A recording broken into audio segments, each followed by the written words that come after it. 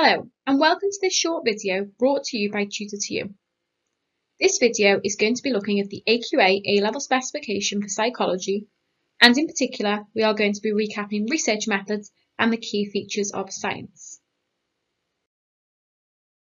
Now one of the main reasons for studying this topic, key features of science within psychology, is because it's quite a common question asked, is psychology a science? Now, Thomas Kuhn was instrumental in his understanding of scientific revolution and its contributions made in this area.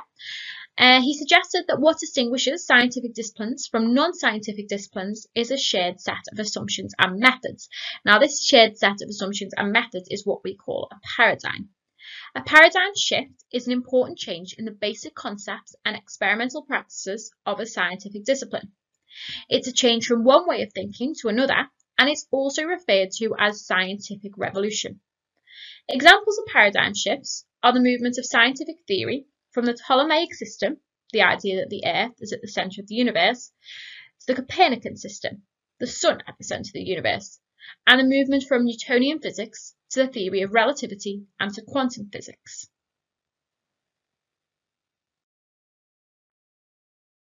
Alongside paradigms and paradigm shifts, another key feature of science is theory construction and hypothesis testing.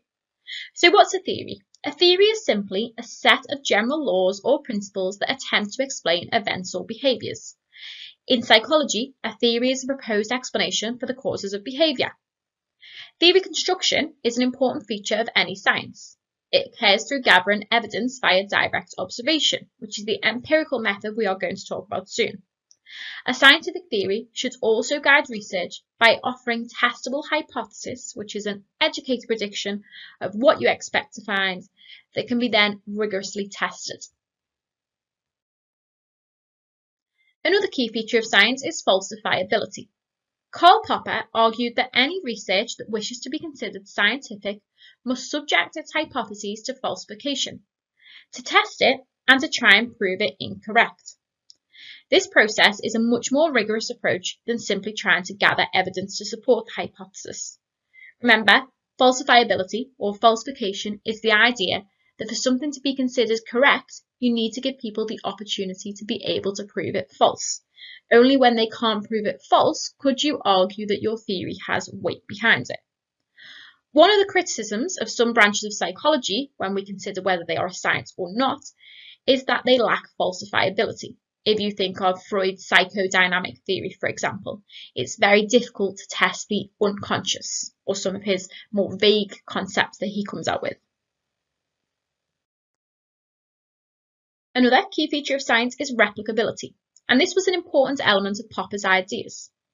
Replicability means that a study should produce the same results if repeated exactly, either by the same researcher or by another.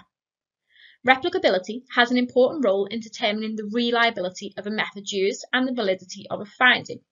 Remember, reliability is how consistent a measure is, and the validity is how accurate the findings are. For replicability to become possible, it's essential that psychologists report their studies with precision and rigour, so that other psychologists can verify their work and the findings that they have produced. So this links to Popper's idea of falsification because in order to try to prove someone's theory false, you have to be able to replicate it step by step. So when you are reporting your findings as psychologists, you should make sure that you report each step of your experiment or of your research study with precision and rigour. That then gives other psychologists the opportunity to try to test your hypothesis. The final key feature of science is objectivity and the empirical method. If something is objective, this means it's not affected by the personal feelings and experiences of the researcher. If it was, this would be subjective.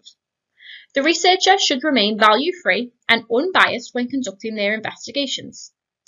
Psychologists must strive to maintain objectivity as part of their investigations and keep a critical distance during the research so that their personal views do not discolour data collected or influence their participants' views or opinions or behaviour.